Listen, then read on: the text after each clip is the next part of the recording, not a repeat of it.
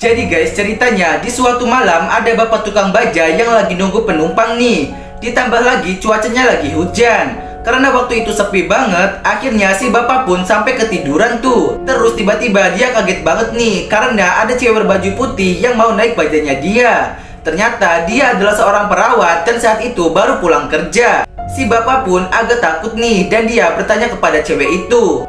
Kamu gak takut apa nih malam-malam pulang sendiri? Konon katanya ada hantu yang ngebunuh orang yang pulang sendirian. Dan hantu itu selalu mengambil bola mata si korban. Si cewek pun menjawabnya dan tidak percaya dengan hal itu. Dia mengira itu adalah cerita doang. Kemudian cewek ini baru nyadar nih Dia melihat di bajai bapak itu banyak banget bola mata dan ternyata hantu yang dimaksud itu adalah si bapak ini guys. Cewek itu pun tewas dan jadi korban di malam itu. Bahkan bola matanya juga diambil kayak gini. Ih serem banget ya guys. Kulit cewek ini terbakar kalau terkena sinar matahari. Jadi guys waktu dia masih kecil Orang tuanya itu mengajaknya pergi ke sebuah pantai.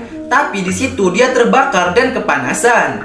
Kemudian dia dibawa ke dokter guys Dokter bilang kalau cewek ini memiliki penyakit langka dan kulitnya bakal terbakar kalau terkena sinar matahari. Nah, di rumah adiknya itu selalu ngerjain dia, guys. Dia selalu melakukan apa pun agar kakaknya ini terkena sinar matahari. Adiknya sangat benci banget dengan kakaknya, hingga dia mendorongnya sampai kena sinar matahari dan kulit kakaknya jadi terbakar kepanasan. Dan akhirnya adiknya ini dipenjara untuk menebus kesalahannya itu. Kalian jangan jahat kayak cewek ini ya guys, dan jangan lupa subscribe. Tubuh cowok ini ditumbuhi jamur karena ini. Jadi guys, suatu hari dia diajak temannya untuk pergi ke hutan. Dan di sana dia disuruh untuk makan jamur. Dia pun akhirnya memakan jamur tersebut. Tapi pas di rumah dia kaget banget nih karena tubuhnya itu ditumbuhi jamur kayak gini. Bahkan di punggungnya juga tumbuh jamur banyak banget. Saat itu si cowok panik dan langsung menelpon temannya. Tapi ketika bangun ternyata dia itu ada di hutan guys dan jamur di badannya itu sudah hilang karena ternyata kejadian tadi itu hanyalah sebuah mimpi.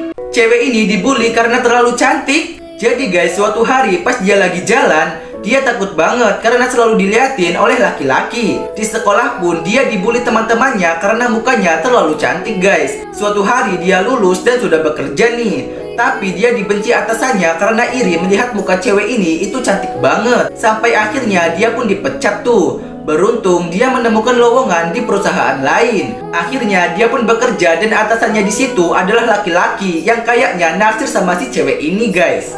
Cewek ini gak bisa senyum. Jadi guys suatu hari semenjak dia masih kecil dia itu gak pernah senyum. Ibunya selalu menanyakannya tapi anak ini ya gak tahu. Di sekolah pun dia dimarahi gurunya karena mukanya itu cemberut terus. Akhirnya dia pun berusaha untuk tersenyum tapi lama-kelamaan dia tuh kecapean guys. Dia juga dibenci teman-temannya karena ya gak pernah senyum. Hingga suatu ketika dia diundang untuk hadir di acara pesta. Tapi dia malah diusir sama si cowok ini guys. Karena dia gak bisa senyum dan bahagia di pesta itu. Dan akhirnya dia pun pulang tuh. Oh iya guys, emang ada ya orang yang gak bisa senyum? Komen di bawah dong.